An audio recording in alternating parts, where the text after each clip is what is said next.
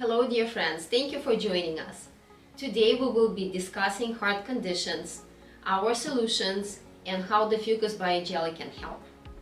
Heart disease is the leading cause of death for both men and women alike.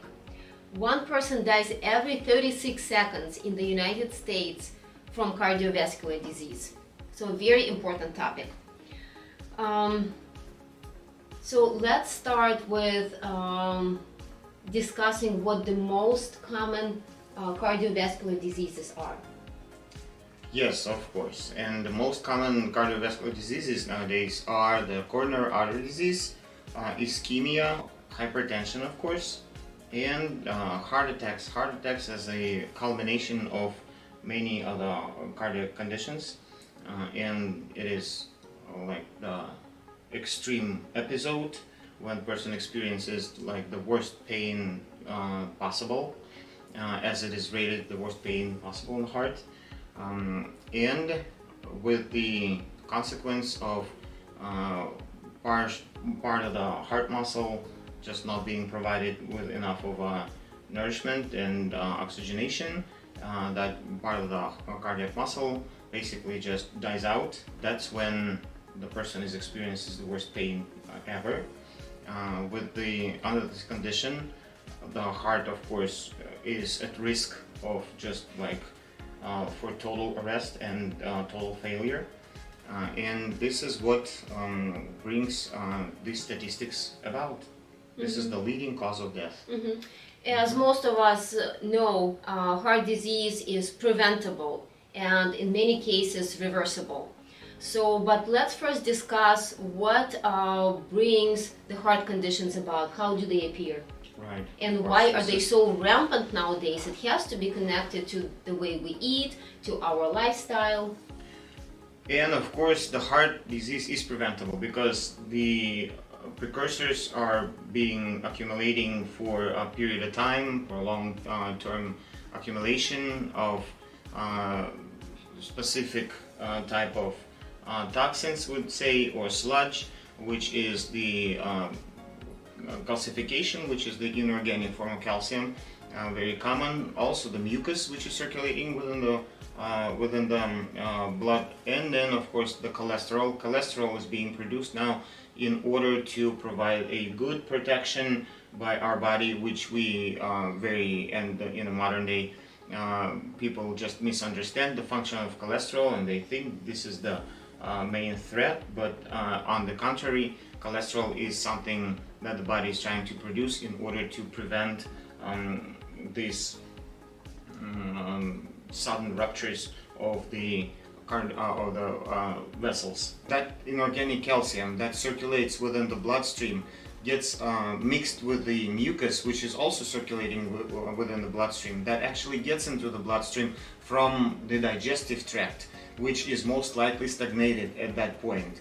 and then on uh, once these two substances meet they create this uh, one substance which is now very dangerous because uh, if it sticks to the wall and it's uh, get caught on the micro uh, micro crack within the blood vessel this is where the calcification begins. Now due to that body begins to produce the cholesterol to patch those cracks up.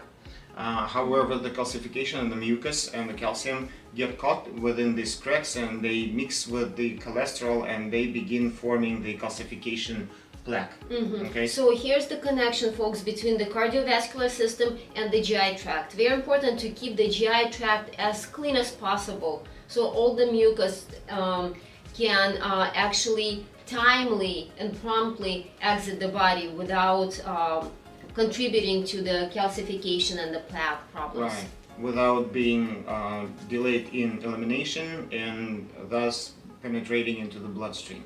What do you have to say about animal products?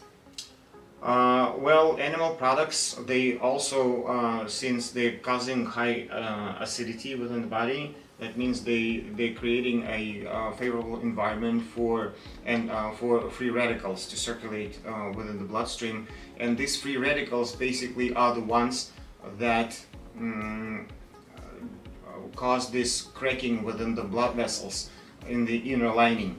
So how they do it, they rip off the ions of the internal lining of the blood vessel and uh, the longer they do that, the, uh, the more significant the damage of the lining happens within the uh, vessel and uh, the body is trying to now compensate for that and start packing it with cholesterol. Calcification with mucus mixture uh, gets caught on these microcracks and begins building up a plaque. So this is the process of formation of a plaque within the bloodstream, within the uh, blood vessel. Mm -hmm. So these are the factors that uh, influence this process, that actually create this process. Okay, so let's um, again identify the main major risk factors of heart disease for our listeners? Mm -hmm. uh, well, um, the factors are very common. It is inappropriate uh, nutrition, very high stress level, uh, and uh, of course, it is lack of physical movement. Yes, and lack lack of dynamics. Yeah, there are always three uh, common um, factors for a lot of diseases. Mm -hmm. Right. Okay, and it's it's the same uh, risk factors basically. The same risk factors, except for then when we need to refine and understand how risk factors uh, influence uh, the formation and development of a specific condition. Then, of course, uh, you know, it, we need to consider uh, the individual uh, the individual um, mm, particularities of that mm -hmm. person uh, how this you know process develops further. Mm -hmm. So once the plaque is uh, formed within the blood vessel, then it continues to grow. As it continues to grow, the uh, inflammation of the uh, blood vessels increases.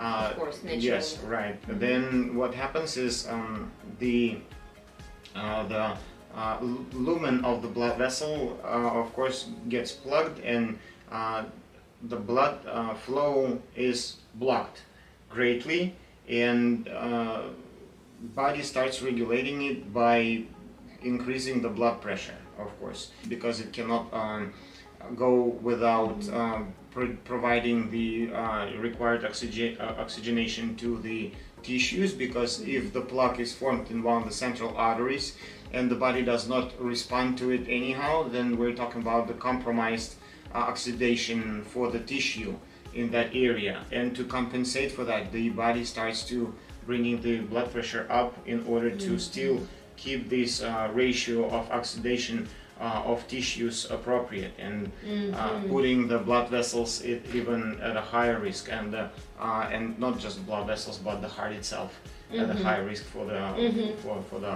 for the attack. Mm -hmm. Yes, so uh, we have a question here. What does calcification inside the blood, blood vessels look like? W what is it? Yes, well, calci cal calcification, uh, calcium, which is now mixed with the mucus and the cholesterol, uh, gets hardened once it attaches to the wall of the blood vessel and becomes uh, like this uh, rock-like looking. It's basically like a stone Mm -hmm. which, or cement. Or cement, yes, mm -hmm. that mm-hmm. uh, like concrete. Mm -hmm. That is. Um, it's actually that hard, folks. Yes, which which attaches to which attaches to the mm-hmm. blood vessel very tightly and does not let go. So it's basically um, uh, it's like a plastered Mm-hmm. plastered uh, blood blood mm-hmm. vessel. Mm-hmm. Mm-hmm. So we have some clients that um, whose uh, arteries are 75% blocked, right, with, with that cement. Yes. Uh, almost cemented close together, leaving mm -hmm. very, very little uh, space for, uh, for bloodstream. Mm-hmm. When uh, the individual is consuming, you know, the cooked food, which is uh, basically enzyme deprived, vitamin E, vitamin C that are important to the, to the heart are basically diminished and uh, vitamin E is a very important uh, vitamin for the heart muscle uh, but within uh, while cooking it is destroyed almost completely.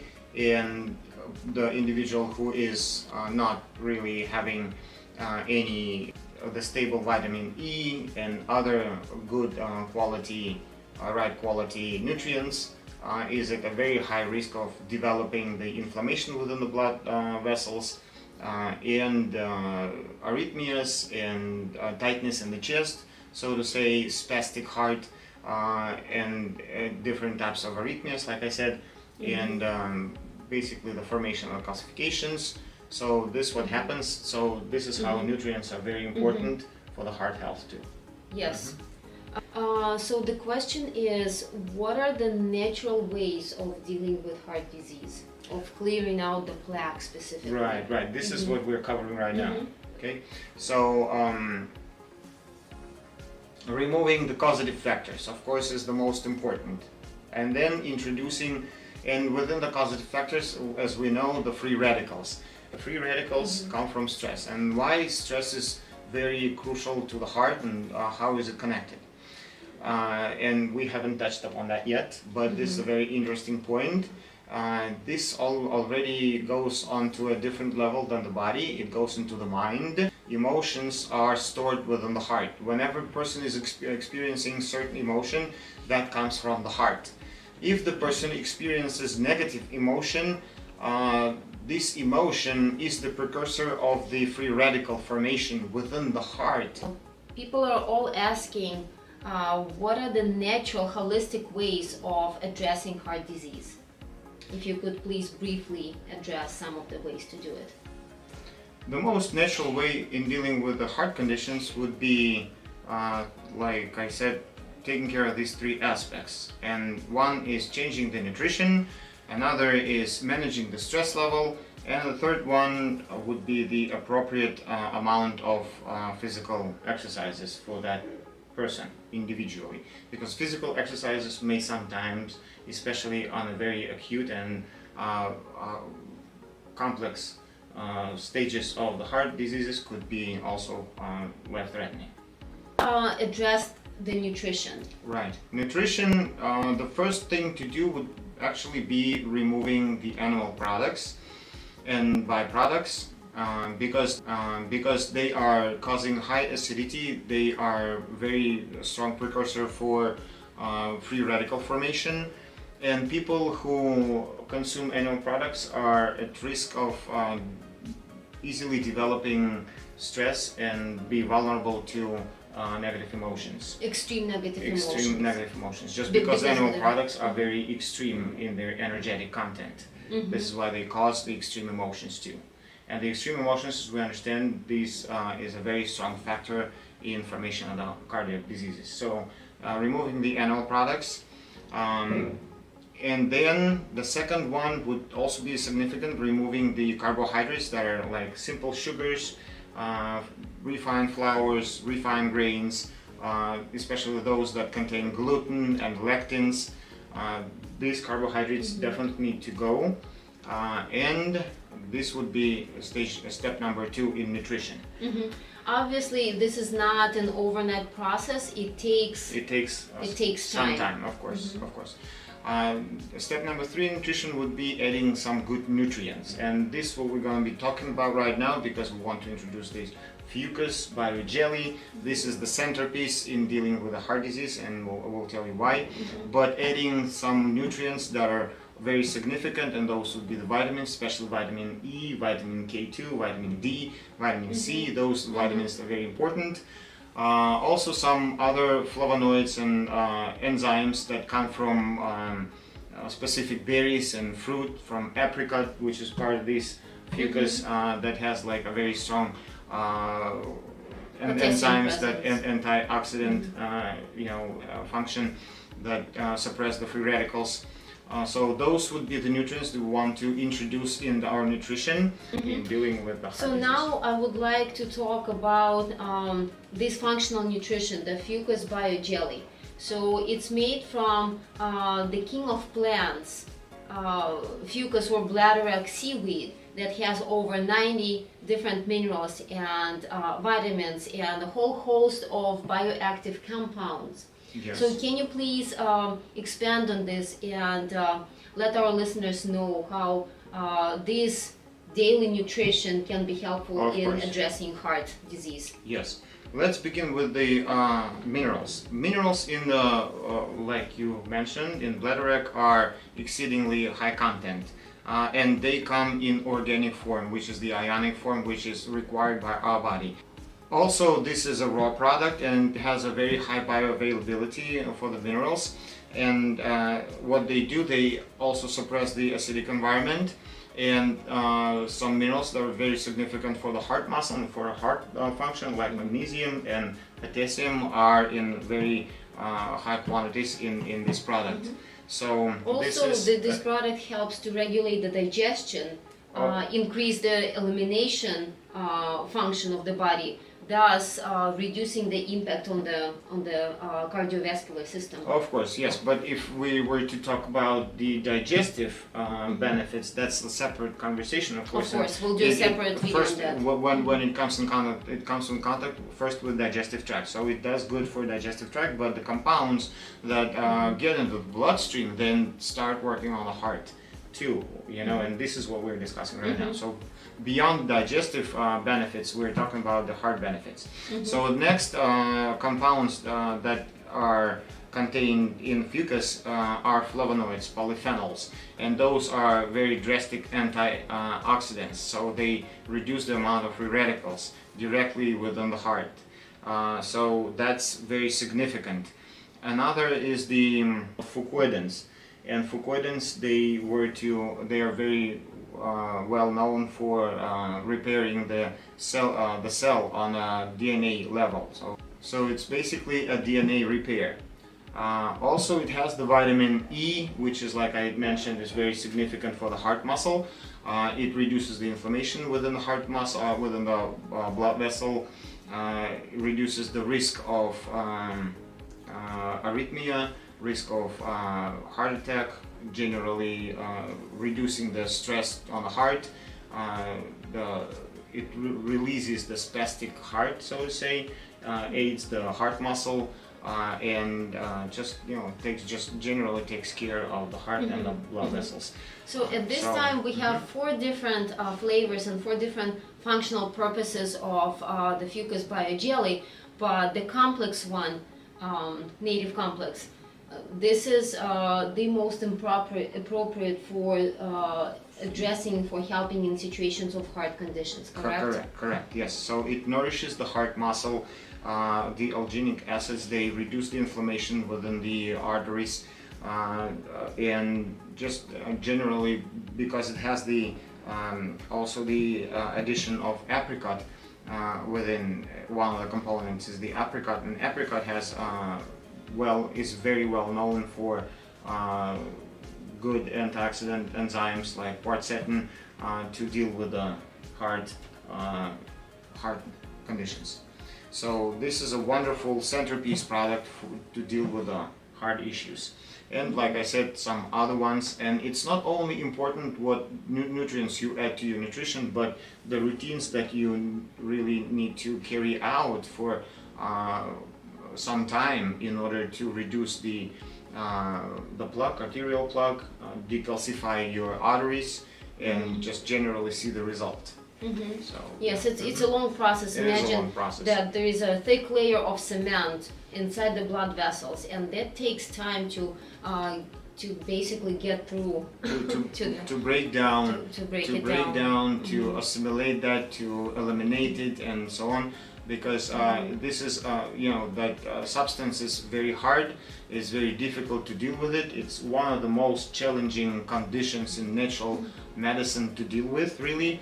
Uh, and it depends not only on professionalism of the um, person working with that individual, but uh, mainly what it depends on is the that individual, the, uh, the who has this condition to be able to carry out the schedule naturally mm-hmm. and and uh, not because having the patience and dedication patience and, and going through this because what mm-hmm. happens is that uh, the lifestyle uh, that that person is used to is the type of lifestyle that brought about this condition that mm-hmm. means that to reverse this condition we're talking about naturally reverse this condition means to go in a different direction with the lifestyle basically the opposite well, not extremely opposite, but but very different. So uh, it's like almost 180 degree turn needs to be considered. Uh, you know, gradually, of course, but this is a very tough part of the whole uh, schedule to, for, for that individual to be able to uh, fulfill it, to carry it out. Mhm. So, Okay, Mhm. so today we discussed um, heart conditions, um, uh, heart disease being the leading cause of death for men and women alike, and um, some of the natural ways of addressing heart disease and uh, how the Fucus Biojelly can help. So if you have any questions, please write to us, info at purplesprout.com. You can um, find more information on our website, purplesprout.com. And uh, in the comments down below, please drop uh, what other topics you would like us to discuss next. Música